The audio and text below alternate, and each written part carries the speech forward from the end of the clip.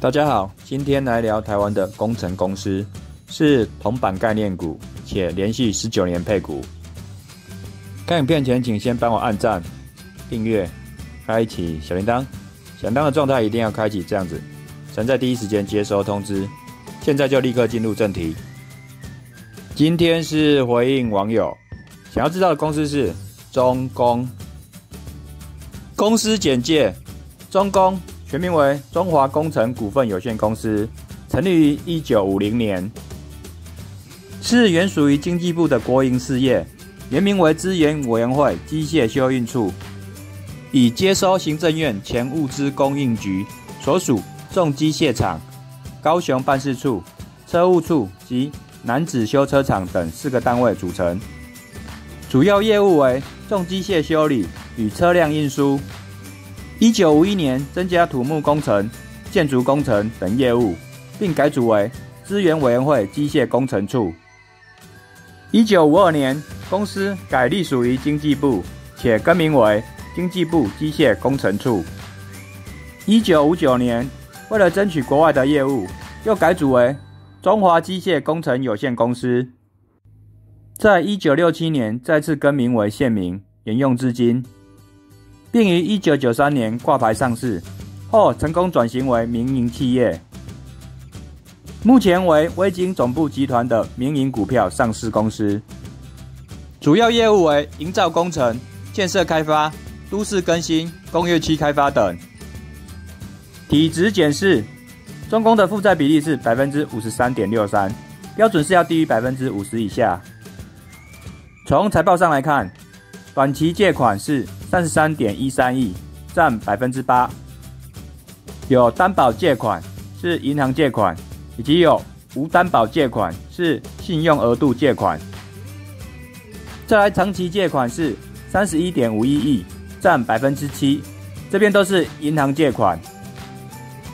应付短期票券是十九点三二亿，占了百分之五，是国际票券及台湾票券。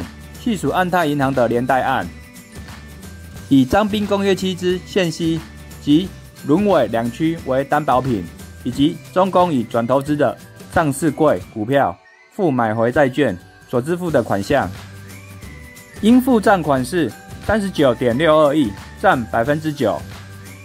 这个是属于建造合约之应付工程保留款所支付的金额，应付代办工业区开发款项。是十九点四五亿，占了百分之五。四日开发立泽再开发工业区、云林科技工业区及其他一般工业区的代办款项，待销售土地后会再回收金额。合约负债是二十三点二九亿，占了百分之五。这部分是应照合约款、不动产销售、劳务销售所必须支付的款项。长期借款。短期借款、应付短期票券等等的负债，都是支付工程款、工程履约保证金。中公是工程建设、土地开发公司，都是先需要支付庞大的资金，待售后或完工才能回收资金，才会造成中公的负债比例偏高。所以只要有获利跟上，高负债是可以不用担心的。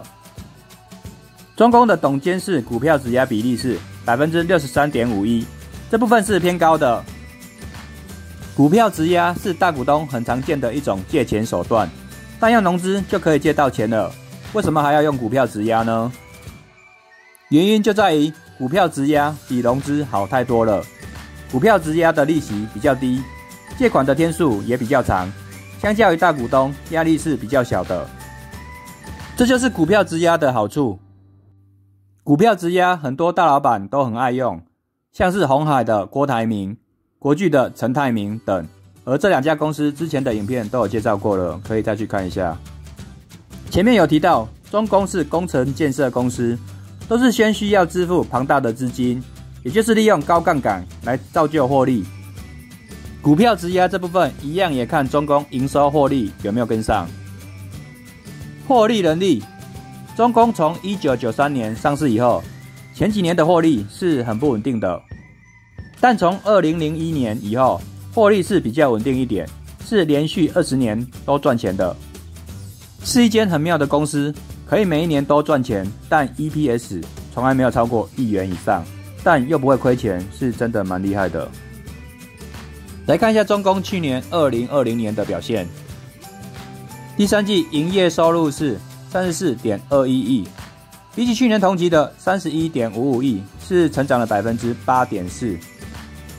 税后净利是一点二六亿，比起全年同期的零点一八亿，是成长了将近七倍，是成长了百分之六百八十五。EPS 是零点零八元。二零二零年前三季累计营业收入是九十六点九亿，比起全年同期的九十二点一一亿，是成长了百分之五。税后净利是三点九七亿，比起全年同期的二点零八亿，是成长了百分之九十。前三季累计 EPS 是零点二六元，光前三季的获利已经超越二零一九年一整年的获利了。鼓励政策。连续十九年配发股利，发出四点二一元，发出二十八次股利，合计发出二十一点五元。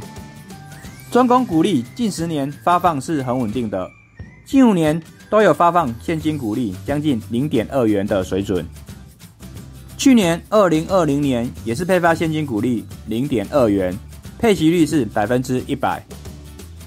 股价评估这边还是要强调一下。价格只是个人认为的价格，没有任何推荐个股及买卖的建议。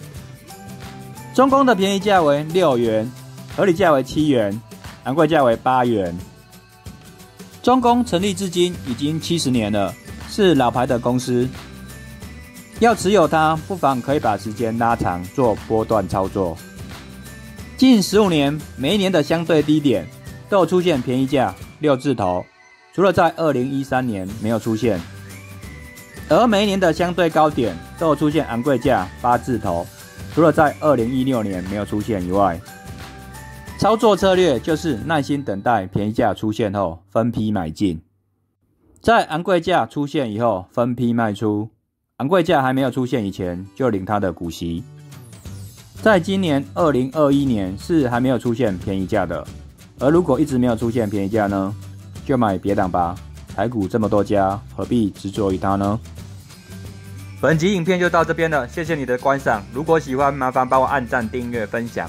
下部影片见，拜拜。